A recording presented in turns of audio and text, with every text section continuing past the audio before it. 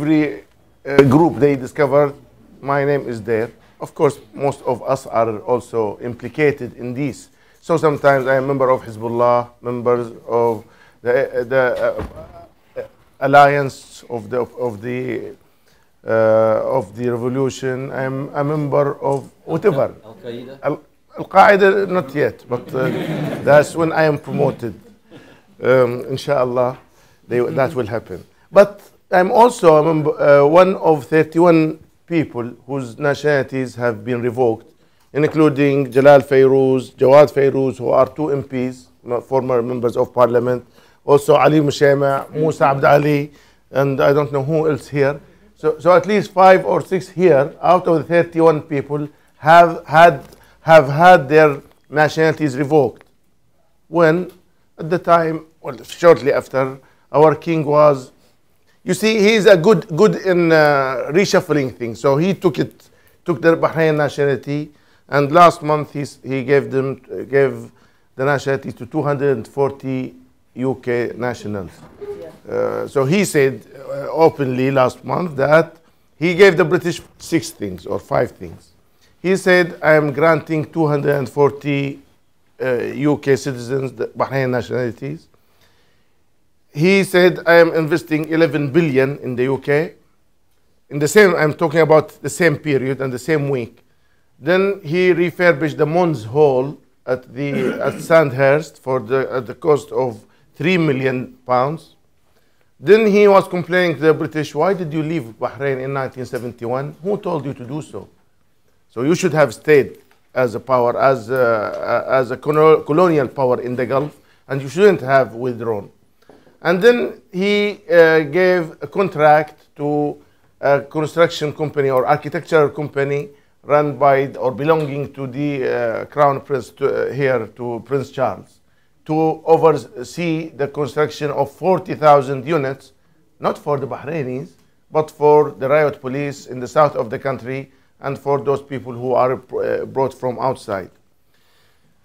Why are we uh, here we are we have listened to quite a few of our friends and about prayer, uh, about their predicaments pro, uh, their experience. But i think there is one thing that has always upset me.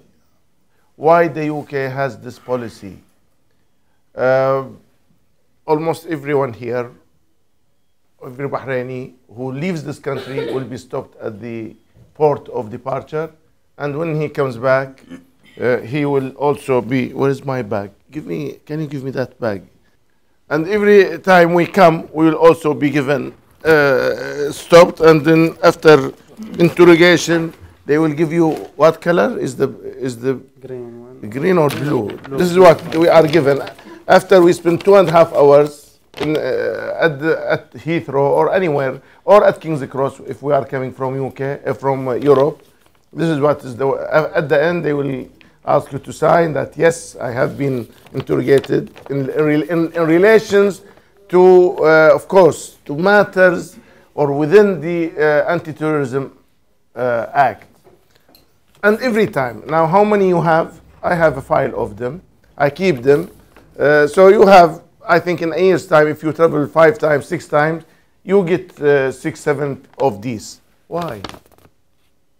We explained today, uh, Alistair Burt, uh, thanks Sayyid Ahmed for showing us a glimpse of that, although we have already seen it, but it really makes you boil.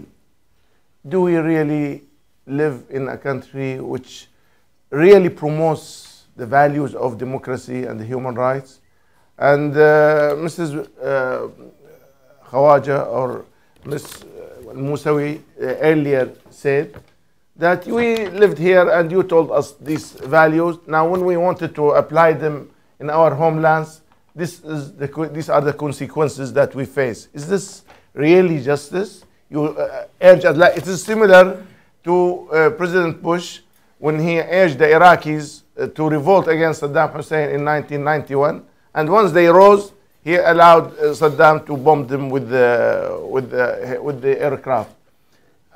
Why? Why? Why is it like that? Why? Why are the interests of the West ca- can only be guaranteed by dictators and um, and torturers?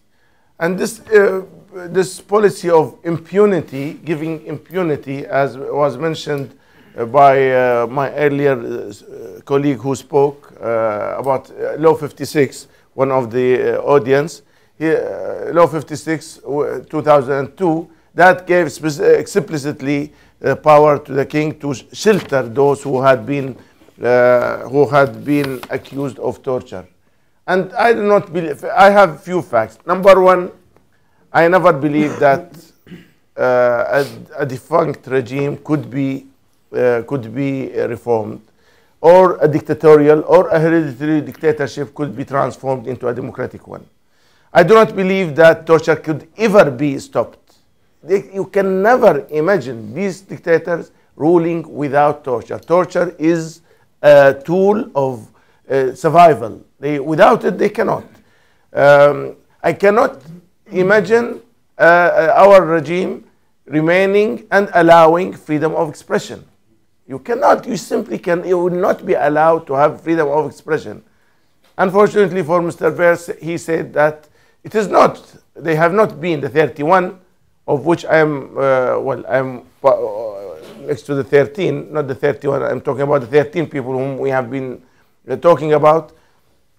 These people have done nothing apart from expressing themselves. Nothing apart. I do not believe that anybody in the world can bring one single evidence that they have done anything apart from uh, uh, addressing the people and saying this is what we want. Now, as for the 13, we were tried uh, uh, by, by the military court, and our uh, sentences still, for me at least, I didn't have the right to to appeal against uh, because I am outside. So my life imprisonment uh, still stands, in addition to the revoking of the nationality.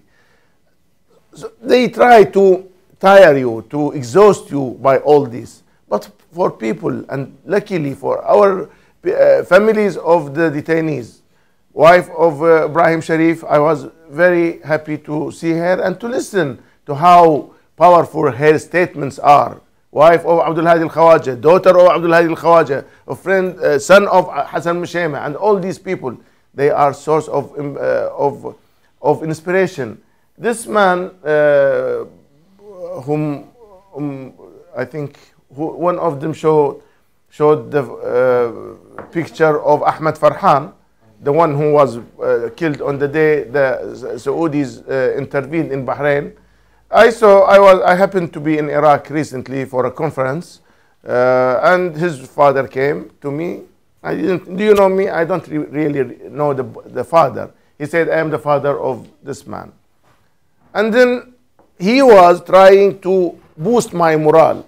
It was my, my intention to boost the morale of those who are un- living under torture. But he was, he was doing the act.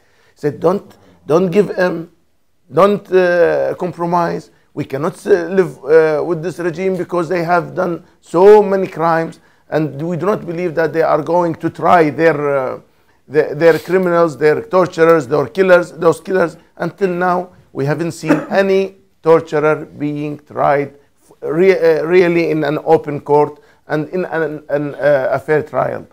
So I do not believe when we are um, uh, when, we, when we are living on the 26th of June, uh, which is the International Day in support of torture victims.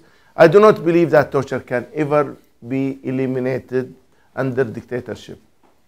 Uh, we, I, cannot, I do not believe that the international community has been just when it is dealing with the Bahraini case. It has done nothing. In fact, it has ignored it. While um, we are, uh, while we hear uh, the calls to arm the Syrian rebels, uh, we see the Bahrainis being treated exactly in the opposite way, being interrogated at every port of entry into the UK and being denied the right to self-determination or even to, uh, to, to, to protest. Every day there are protests every single day throughout the year for the, since the 14th of February.